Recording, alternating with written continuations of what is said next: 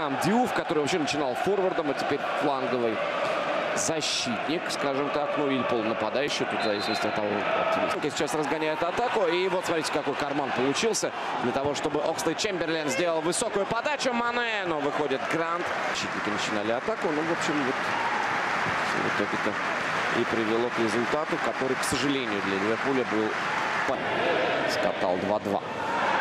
Здесь нарушение правил, Фермина не прав. Момент сразу. Передача уже с лицевой. Мане! Мягкий заброс через Гранта. И это один в центр штрафной. Это не то, что мы с вами видели в России. В замечательной игре ЦСКА Ахмат. Показал, что мяч ушел. Да? И, собственно, на этого Даррен Флетчер указывает. Дальше Флетчер упускает своего соперника. Все смотрят.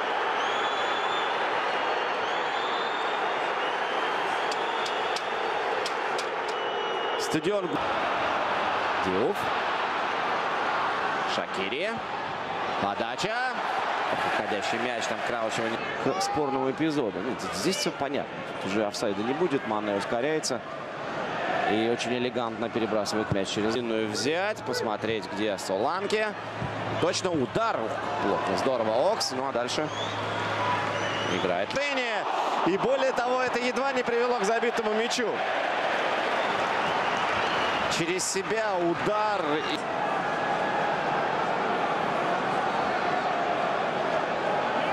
Играет сенегалец. Ну и дальше Шакир.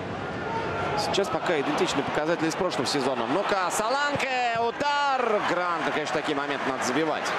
Прячется Миньюле, очень высокая стенка. Там еще и Питер Крауч. Но он присядет, если надо. Удар, рикошет! И углового нет. Мане убегает. Много времени еще и посмотреть на соперника, посмотреть на судью, как он отреагировал. И дальше были Садио, Флетчер, Мане, пас Салаху. Но он совсем... Мо Салах из Ливерпуля. Он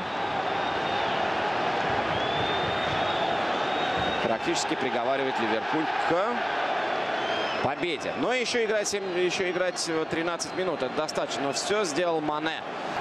Конечно, гениальный сезон проводит. И египтянин. И вот он рывок. Салаха. Питер спутается. Путается. Салах. Дубль. Три. Салах, кажется, вот, находясь рядом, уже влияет на соперника. Опаснейший соперник находится, переживает. И дальше и Грант не выходит на линию Ливерпуля. Красивый момент. Питерс чувствует, что там просто...